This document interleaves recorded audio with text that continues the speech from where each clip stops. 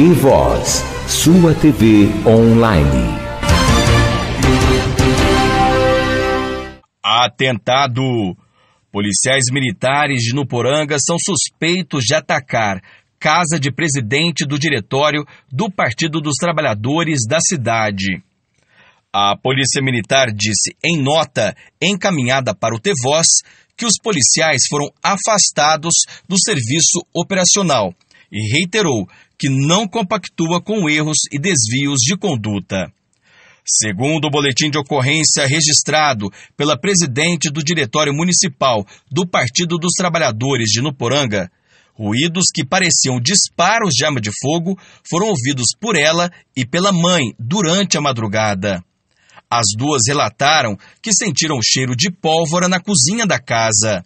No boletim de ocorrência, a líder do partido disse que ouviu o barulho de um carro descendo a rua em frente à casa dela. Pela manhã, foram encontradas marcas de pólvora e estilhaços, que parecia ser de um explosivo perto do portão da garagem e da parede da cozinha. Uma câmera de segurança na rua registrou imagens de uma viatura da Polícia Militar que fazia ronda no centro de Nuporanga. O vídeo mostra um clarão que vem de uma casa. Na sequência, um homem de capuz sai do imóvel correndo e entra na viatura. Neste instante, outro clarão aparece nas imagens e os policiais vão embora na viatura.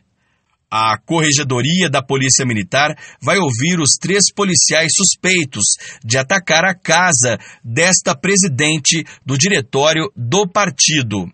Em depoimento, ela disse que discutiu com policiais nas redes sociais sobre uma ocorrência momentos antes do ataque.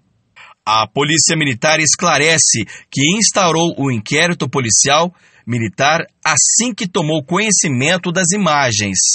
Ainda em nota, a Polícia Militar disse que os policiais envolvidos foram afastados do serviço operacional e que a instituição não tem compromisso com o erro e não compactua com desvios de conduta.